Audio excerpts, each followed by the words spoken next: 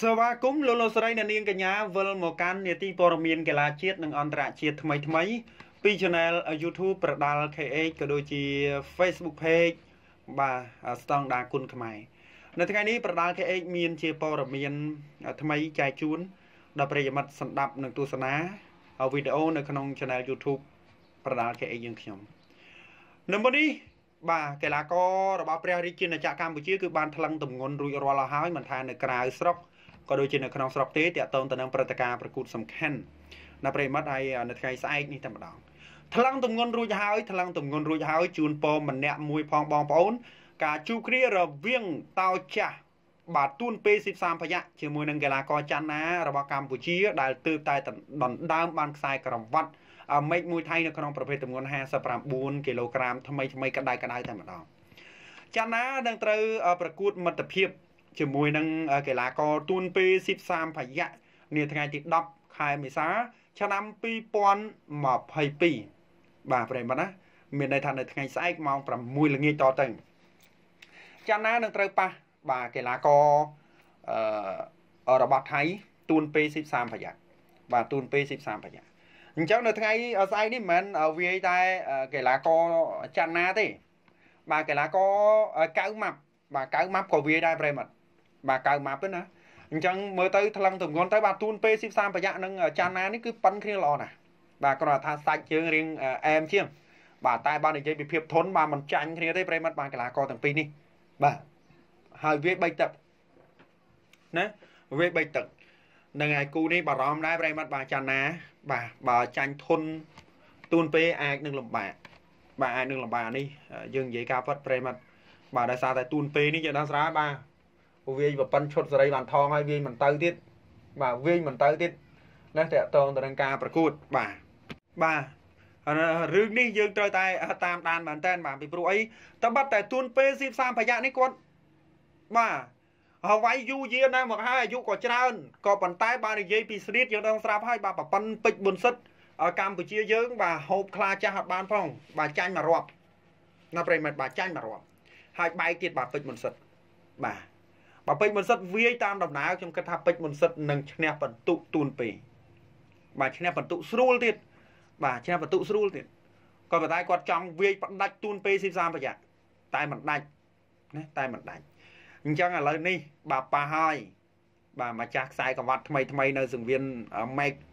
បាទច័ន្ទណារបស់កម្ពុជា បាទនឹងត្រូវជួបជាមួយនឹងកីឡាករទូនពេហើយបាទគូនេះពេញសាច់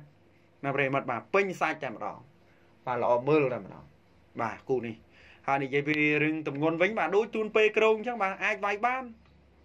បាទ58អីនេះបាទប៉ះគ្នាបានបាទគីឡូណាលំដាប់ណាក៏វាយបានដែរស្រុកខ្មែរបាទគេនិយាយដល់ប៉ុណ្ណឹងហើយប្រិមត្តបាទ59 58បាទ57ហ្នឹងគេវាយបានណាលំដាប់ស្រុកខ្មែរយកមកបាទយកមកណានៅកម្ពុជាមានប្រហែលអ្នកយកមកដាក់មកបាទណាទូនពេថាស្វាគមន៍បាទស្វាគមន៍ ណាប្រិមត្តស្វាគមន៍អាចវាយបានទាំងអស់លំដាប់ស្រុកខ្មែរបានលំដាប់ស្រុកខ្មែរអញ្ចឹងបងប្អូនតាក់ទងទៅនឹងព័ត៌មាននេះបងប្អូនចូលរួមបាទបញ្ចេញមតិយោបល់ម្នាក់មួយផង បាទច័ន្ទណានឹងទូនពេ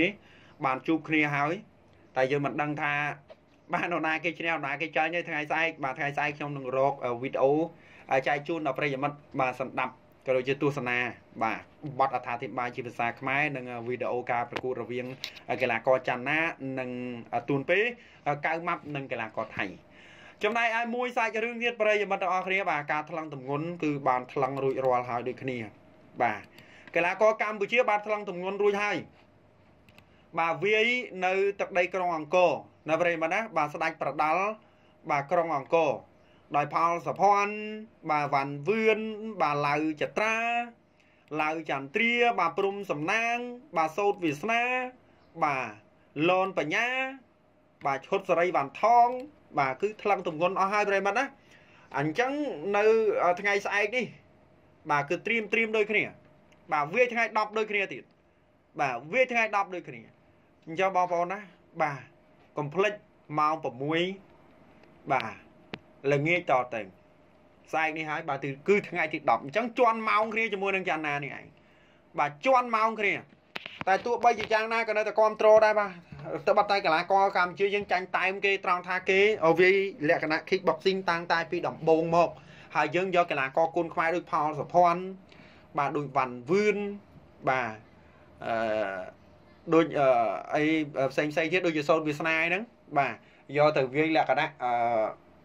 គេហៅថា kickboxing អឺពួកគាត់អត់ដែរវា kickboxing ទេ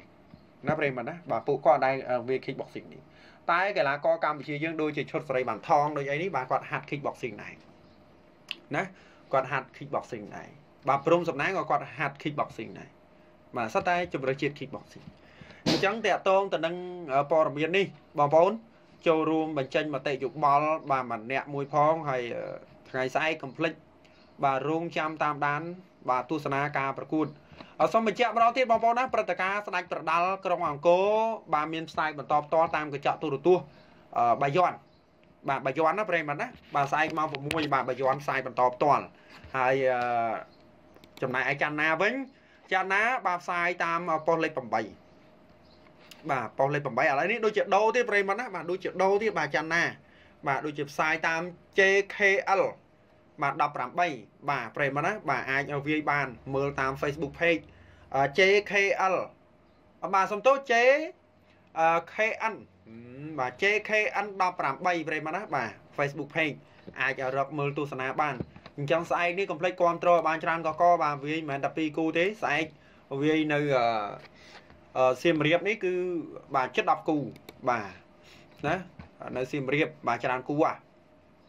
ណាប្រិមិត្តបាទច្រើនគូហើយអាចនិយាយបានថានៅមានគូពិសេសពិសេសផ្សេងផ្សេងទៀតហើយនៅថ្ងៃ16នោះមានព្រឹត្តិការណ៍ថ្មីមួយទៀតបាទព្រឹត្តិការណ៍ថ្មីមួយទៀតគឺខ្មែរហ្វៃបាទនៅសៀមរាបដូចគ្នានឹងទៀតបាទអញ្ចឹងបងប្អូនហើយបាទសប្បាយភ្នែកមែនតើបាទអ្នកសៀមរាបបាទសបោសង្វៀនវាយសង្វៀនសតតែសង្វៀនល្អល្អមើលទៀតបាទសង្វៀនល្អល្អមើលទៀតបាទ admin នេះស្ដាយដែរបាទស្ដាយដែរឥឡូវនេះកំពុងធ្លាក់ខ្លួនឈឺហើយបងប្អូនអើយបាទ មនុស្សមានប្រប៉ុណ្ណាណៃឈាមបានតែ8ទេបាទ admin ខ្សោយមែនតែនបាទដាក់សរោមផងអីផងអត់សូវបានធ្វើព័ត៌មានចែកជូនបងប្អូនទេឈឺហើយបងប្អូនណាបាទឈឺហើយអញ្ចឹងបងប្អូនទាំងអស់គ្នាក៏សូមជូនពរដល់បងប្អូនទាំងអស់គ្នាបាទជូនពរទាំងខ្ញុំឈឺ